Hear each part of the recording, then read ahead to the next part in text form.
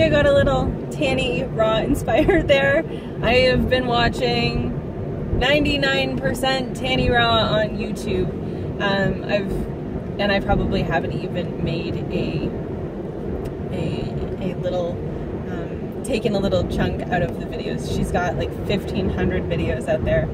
Um, anyway, I think I've been kind of telling you guys about my Tanny Raw obsession lately, and I'll let it go for this one. Um, Monday, I want to talk about two things. Um, first of all, well, I guess they kind of mix together. Okay, I'm to talk about some stuff.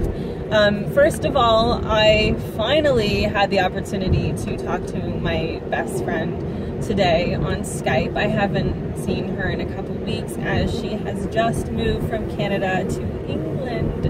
I'm so excited for her, um, but I also miss um, having one of my best friends close by to hug it out and um, chat and have, you know, just hang out to be girls.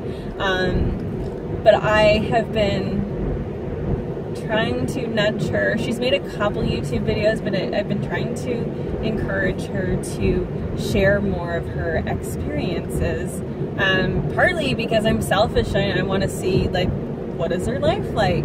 Um, but also, it reminded me of the conversation, reminded me of uh, a book that I read years ago and a message that it had about if you're holding back something, you're, you know, you, you don't have the self confidence to share it or whatever, um, you're holding someone else back from the experience of learning that information or experiencing your energy or whatever it is.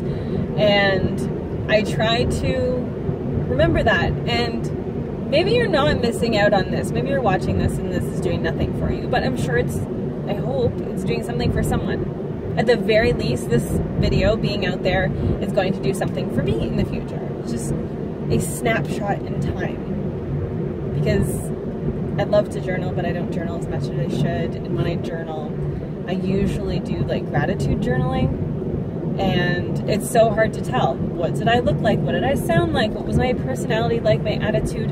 I mean, compared yesterday to today is a world of difference. Um, so right now I'm kind of vibing. Today is the, uh, I would say one of the most intense days of the year, and I'm almost through, so I'm feeling wicked. Um, today is the day where my teaching schedule winds up again. And in addition to that, I also had a new client today for a fascial stretch. So I had the stress of preparing for a new client that has some physical ailments that I've not dealt with before. So this is, you know, new territory that we're going to work through over the next couple weeks. And I then immediately afterwards had to go to the university to teach my first week of the beginner's class and then my power class. And now I am on my way out to, um, I'm in farmland right now, as you can see. Um, I am driving country roads out in Binbrook, uh, heading to my final candlelight class, um, which I actually haven't been to in two weeks because last weekend I was away on canoe trip and it was a holiday here.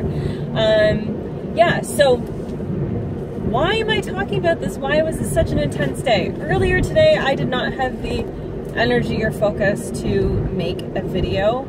Um, I, even though I've taught, I added it up the other day, I have taught hundreds of yoga classes and I get stressed out. I don't know how many people are going to come. I don't know if my playlist is going to work out. I don't know if I'm to be able to. I I kind of intuitively teach. I kind of just come up with my classes on the spot. And um, I mean, I never have a reason to stress, and this is kind of the the the trickster uh, personality of anxiety is that we get stressed about things that we don't need to be stressed about. And um, if there are things that maybe you're not someone who has anxiety, maybe you're not, maybe you aren't anxiety, but you have experienced that emotion around certain things. Maybe you're back to school and starting a new class where there's new people gives you anxiety. Like it, it really, like the, the feeling just comes over you like a cloak or something. Um, try to remind yourself. Try to remind yourself. No, it's let yourself feel that feeling. Allow yourself to feel what that feels like and remember what that feeling feels like. And afterwards, you can reflect. Instead of trying to pretend that it's not there and ignore it, allow yourself to feel that feeling, which is something I tried to do today. And what I've been trying to do lately is really analyze my emotions, my feelings, what's going on. Um, feel that feeling, write it down. What are you experiencing? What are you worried about? No concern is stupid.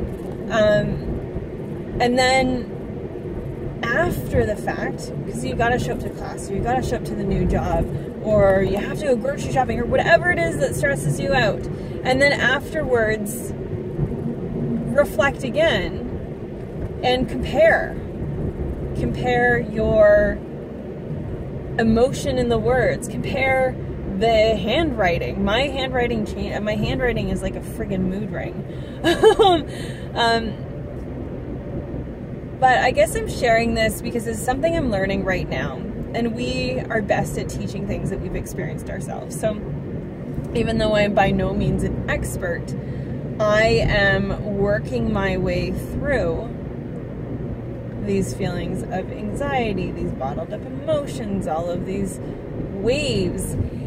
And I think that reflecting, being aware, being fully present to the emotions that are going on, to the feelings, and being able to compare before and after, um, it can really help you to realize that it's not as bad as you think in the first place. And maybe next time those anxiety feelings that come up are not as intense because you remind yourself, oh yeah, I get myself all wound up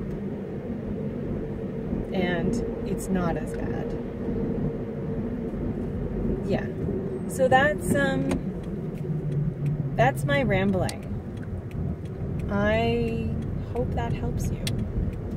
And if it doesn't help you, I know it's going to at least help me. I hope you guys have a fabulous evening. And like always, comment down below. I'm going to be playing catch up tonight after my teaching is done. I will be playing catch up tonight with all of my the comments and I actually I got a really big long beautiful email from one of you. Um, I have seen it all, so tonight I'm playing catch up. I will talk to you guys later. Bye.